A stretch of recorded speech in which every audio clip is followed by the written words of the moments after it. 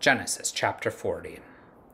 Some time after this, the cupbearer of the king of Mitsrayim and his baker committed an offense against their master, the king of Mitsrayim. And Pharaoh was angry with his two officers, the chief cupbearer and the chief baker, and he put them in custody in the house of the captain of the guard, in the prison where Yoseph was confined. The captain of the guard appointed Yoseph to be with them, and he attended them. They continued for some time in his custody. And one night they both dreamed, the cupbearer and the baker of the king of Mitsrayim, who were confined in the prison, each his own dream, in each dream with its own interpretation.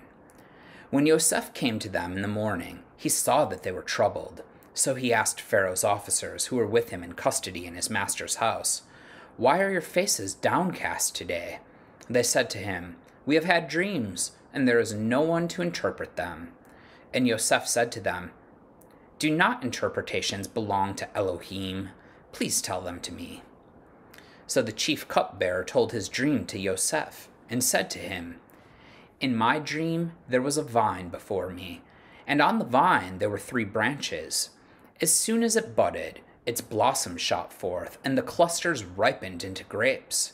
Pharaoh's cup was in my hand, and I took the grapes and pressed them into Pharaoh's cup, and placed the cup in Pharaoh's hand. Then Yoseph said to him, This is its interpretation.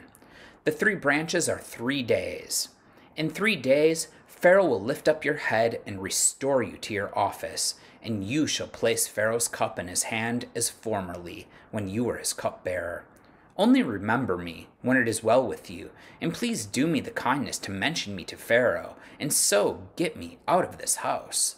For I was indeed stolen out of the land of the Ivrim. And here also I have done nothing that they should put me into the pit.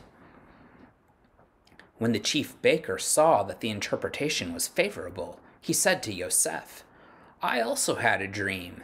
There were three cake baskets on my head, and in the uppermost basket there were all sorts of baked food for Pharaoh, but the birds were eating it out of the basket on my head.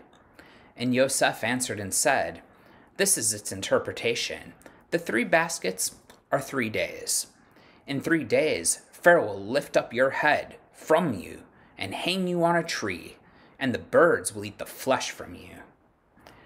On the third day, which was Pharaoh's birthday, he made a feast for all his servants and lifted up the head of the chief cupbearer and the head of the chief baker among his servants. He restored the chief cupbearer to his position, and he placed the cup in Pharaoh's hand.